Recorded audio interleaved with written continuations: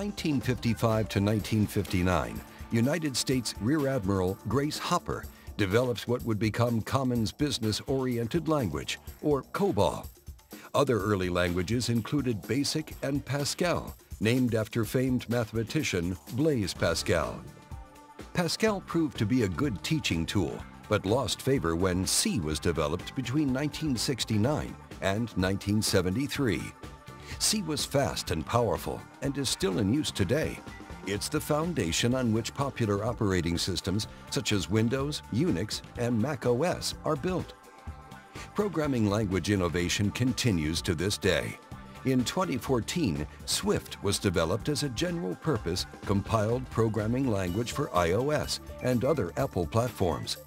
An alternative to Objective-C, Swift offers a simpler syntax Syntax refers to the rules governing the sequence and placement of symbols and words to communicate with the computer.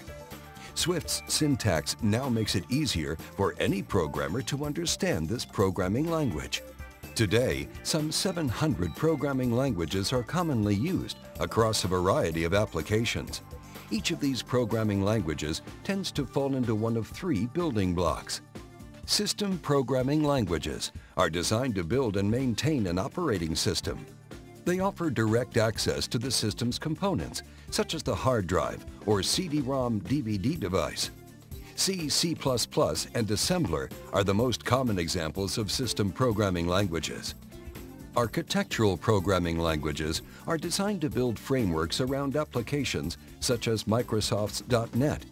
Frameworks contain common processes and tasks that can make it easier for programmers to develop apps.